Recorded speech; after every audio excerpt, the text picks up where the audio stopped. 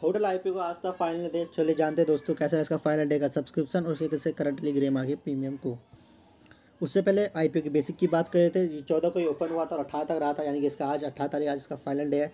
Price band की बात करें तो एक सौ उन्नीस के बीच में लाया गया था ये, जिसमें आपकी अपर प्राइस पे बेड लगती है, यानी एक सौ छब्बीस में आपकी बेड लगेगी। उससे अगर फेस वैल्यू की बात करें तो एक रुपये की फेस वैल्यू थी एन एस दोनों में लिस्ट होगा। चलिए बात करते हैं इसके सब्सक्रिप्शन की।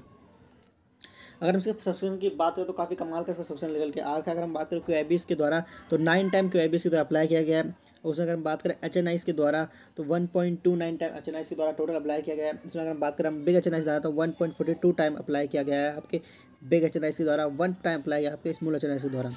वहीं अगर हम रिटेल इन्वेस्टर की बात करें तो वन पॉइंट सेवेंटीन टाइम आसपास उन्होंने अप्लाई किया रिटेल इन्वेस्टरों ने।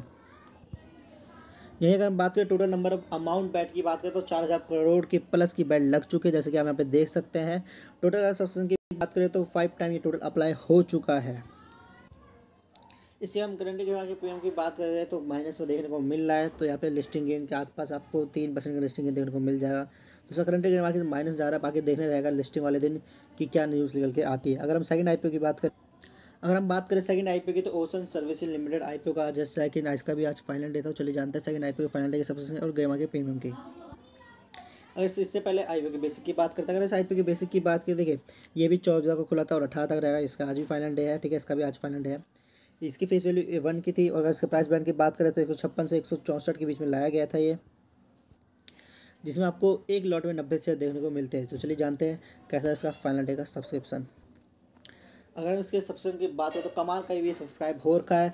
आप इसी समझ जाइए कि क्यू ने आपके सोलह टाइम अप्लाई किया है क्यू के द्वारा। अगर बात करें एच एन के द्वारा नाइन टाइम अप्लाई हुआ है। एच के द्वारा अगर बात करें बिग एच के द्वारा टेन टाइम अप्लाई हुआ है और स्मॉल एच के द्वारा सिक्स टाइम अप्लाई किया गया है और रिटेल के द्वारा सिक्स पॉइंट पंद्रह परसेंट के आसपास अप्लाई किया टोटल सब्सक्रिप्शन की बात है तो बारह परसेंट के आसपास अप्लाई हुआ है। नंबर ऑफ़ बैट की बात करें तो चार हज़ार करोड़ की बैट आप मान के चल लीजिए, ठीक है? तीन हज़ार नौ सौ करोड़ की कुछ बैट लगी पड़ी है तो आप ये समझ लीजिए। चलिए इसकी बात करते हैं इसके ग्रे मार्केट पी की।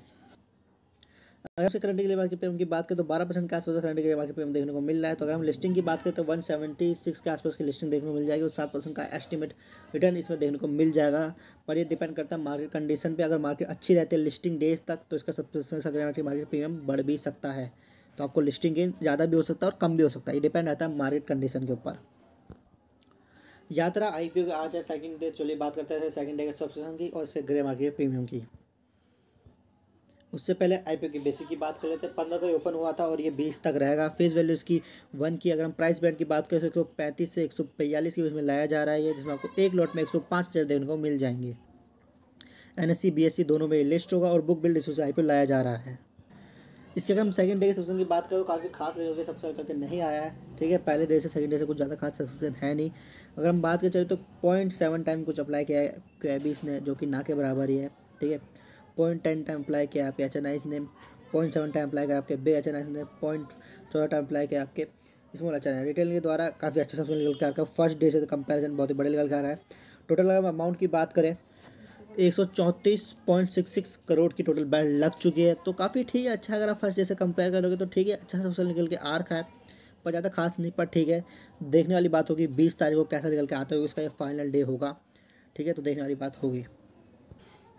अगर आप भी गाय यात्रा आई में अप्लाई करना चाहते हैं तो आपको एक लॉट के लिए चौदह सौ नौ सौ दस रुपये देने पड़े यानी पंद्रह हज़ार के आसपास मान के चल लीजिए, आपको देने पड़ रहा है, जिसमें आपको एक लॉट एक सौ पाँच शेयर देखने को मिल जाएँगे।